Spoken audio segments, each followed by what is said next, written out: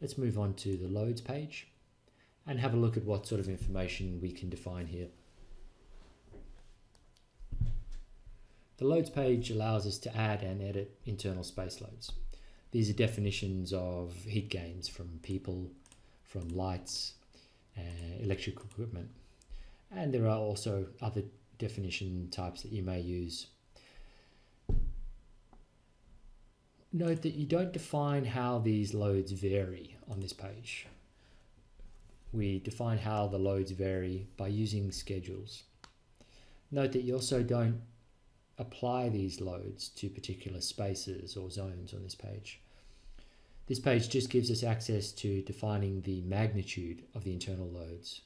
For example, here under people definitions, we see the break room people definition, and that sets a fraction of 5 one hundredths of a person per square feet.